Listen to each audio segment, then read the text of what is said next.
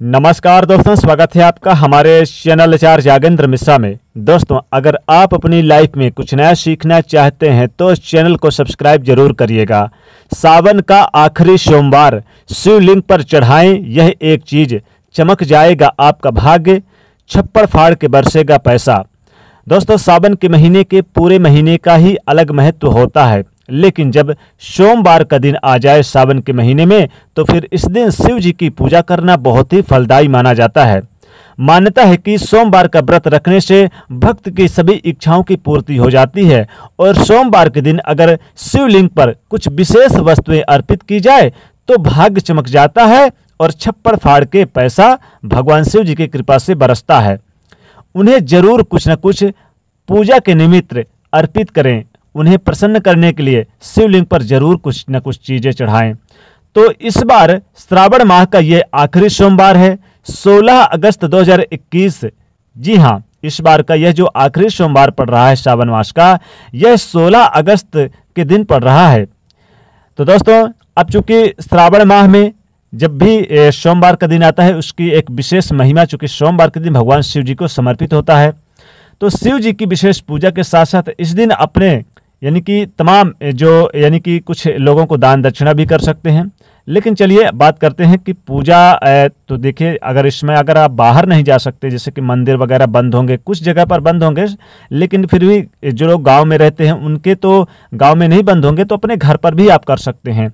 अब यहाँ पर भगवान शिव जी की संयुक्त रूप से पूजा करिए, यानी कि भगवान शिव जी की, माँ पार्वती, गणेश भगवान की, संयुक्त पूजा कीजिए, पूरे परिवार की, शिव परिवार की। अब जब आप शिव जी और माता पार्वती जी के आपके घर में तस्वीर हो तो भी आप सामने में एक पात्र रख लें और उसी में आप, यानी कि रख लें तस्वीर और सब कुछ अर्पित करें, पूजा करें। अगर शिवलिंग है तो उसके ऊपर करें। शिवलिंग को हमेशा ही किसी पात्र में रखिएगा।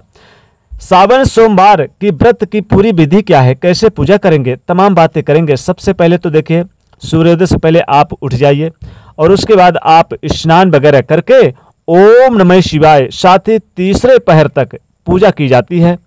ऐसा नहीं है कि सुबह से ही कर लिया बस हो गया। नहीं, सुबह से लेकर शाम तक तीसरे पहर, यानी कि जो प्रदोष काल होता है, उस समय तक भगवान शिव जी की पूजा करें। वैसे प्रदोष काल की पूजा सबसे ज़्यादा उत्तम मानी जाती है।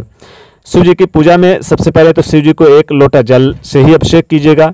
और चूँकि मंदिर में शिव जी की मूर्ति के समक्ष आप पूजा कर सकते हैं, व्रत का संकल्प लेकर आप घर में भी कर सकते हैं। व्रत का संकल्प लेकर अपने घर में में भी कर सकते हैं और पूजा सामग्री में जो चीज़ें बहुत ज़रूरी है, वो है जल, दूध, दही, चीनी, मिश्री, घी, शहद, पंचामृत, मौली, वस्त्र, जनेऊ, चंदन, रोली, चावल, पुष्प, बेलपत्र, भाँग, धतूरा कमल गट्टा और प्रसाद के रूप में पान, सुपारी, लौंग, इलायची, मेवा और दक्षिणा ज़रूर रखिएगा कुछ ना कुछ। एक रुपये पाँच रुपये दस रुपये यथा योग संभव के अनुसार रख लीजिए। क्योंकि शिव जी की पूजा बिना दक्षिणा पूरी नहीं होती है। अगर इतना सब कुछ नहीं कर पाते तो कम से कम एक लोटा जल में बेलपत्र ही डाल दें और फिर शिव जी की पूजा करें, शिवलिंग पर चढ़ा दें। एक लोटा जल के बाद बेलपत्र चढ़ा दें।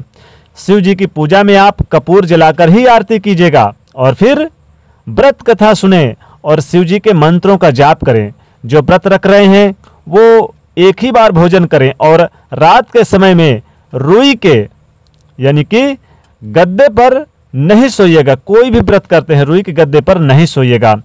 शिव जी के अनेक अवतार हैं। अनेक नव अवतार से जाने जाते हैं, जैसे कि कपाली, पिंगल जैसे कई नाम। हैं लेकिन आज हम जानते हैं कि सावन का जो सोमवार, ये आखिरी सोमवार है। तो जब आप व्रत रखेंगे और व्रत कीजिएगा तो क्या खाइएगा? देखिए, बहुत सारे लोग नमकीन चीज़ें भी खा लेते हैं, लेकिन अगर नमकीन खाते भी हैं तो रात में खाइएगा और सेंधा नमक का प्रयोग कीजिएगा।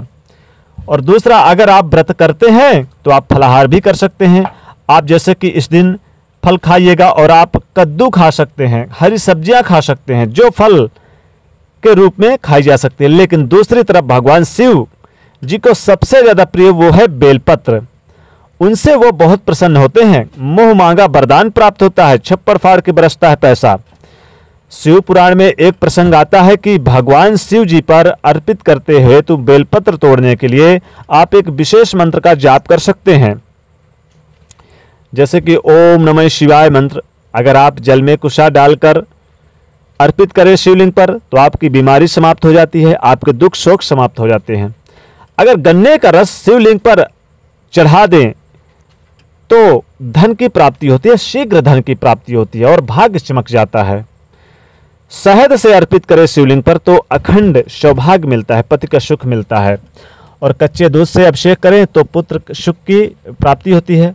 शक्कर से अभिषेक करें या फिर शिवलिंग पर चढ़ा दें तो फिर आपकी वाणी अच्छी होती है। सरसों का तेल तो ना ही चढ़ाएँ तो ज़्यादा अच्छा रहेगा, क्योंकि ये तांत्रिक क्रियाओं में यूज़ होता है। और घी से अभिषेक करें तो मनोकामनाएँ अति शीघ्र पूरी होती है, इसलिए घी भी आप शिवलिंग पर चढ़ा सकते हैं। इस दिन सूर्यास्त से एक घंटे पहले और एक घंटे बाद का जो समय होता है, वो प्रदोषकाल होता है, उसी समय पूजा कीजिएगा। अब चूँकि भगवान शिव शंभु को मनाने के लिए अनेकों प्रकार के आप उपाय भी करते हैं तो भोलेनाथ को सोमवार के दिन एक लोटा जल ले ले, तांबे के लोटे में। थोड़ा सा चावल ले लें, थोड़ी सी मिस्त्री ले लें और शिवलिंग को जल चढ़ाने के बाद बेलपत्र, आप चावल और मिस्त्री चढ़ा दें शिवलिंग पर। फिर देखिए कैसे किस्मत आपको रातों रात अमीर बना देती है। किस्मत चमक जाएगी, भाग्य आपका रूठा हुआ चमक जाएगा। भगवान भोलेनाथ दोनों हाथों से बरसाएँगे, आपके घर में धन की धन की बारिश करेंगे। धन संपदा होगा। तो सोमवार के दिन अनेकों उपाय किए जाते हैं, जैसे कि आप इलायची, लौंग, ये सारी चीज़ें चढ़ा सकते हैं शिवलिंग पर। आपकी मनोकामना शीघ्र पूरी होगी। तो इस सावन के आखिरी सोमवार के दिन ये उपाय ज़रूर करें। इससे आपके सभी मनोकामनाओं की पूर्ति होगी। गरीबों को दान करें यथा योग संभव तो कपड़े का, वस्त्र का दान करें और गरीबों को भोजन खिलाएँ। सोमवार के दिन गरीबों को भोजन खिलाने से अनेकों प्रकार के लाभ होते हैं। जीवन में सुख सुविधाओं में वृद्धि होती है। माता भगवती भी आपके ऊपर प्रसन्न रहती है।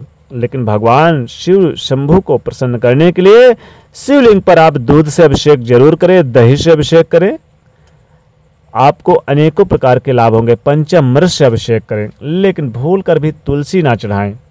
भूल कर भी आप इस दिन इन्हें, यानी कि जो केतकी का फूल ना चढ़ाएँ। कई प्रकार की चीज़ें ऐसी होती है जो ना चढ़े लेकिन भाँग चढ़ा दे शिवलिंग पर, सफ़ेद पुष्प चढ़ा दे, धतूरा के फल और मदार के पुष्प चढ़ा दे तो भगवान भोलेनाथ अतिशीघ्र प्रसन्न होते हैं। दोनों हाथों से कृपा बरसाते हैं।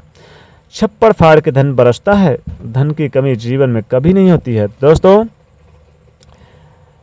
भगवान शिव जी की कृपा पाने के लिए, ज़्यादा से ज़्यादा कृपा पाने के लिए ज़रूर कमेंट में जय महादेव अवश्य लिखें और वीडियो को लाइक करें, ज़्यादा से ज़्यादा शेयर करें और चैनल को सब्सक्राइब करें, बेल आइकन को प्रेस करें।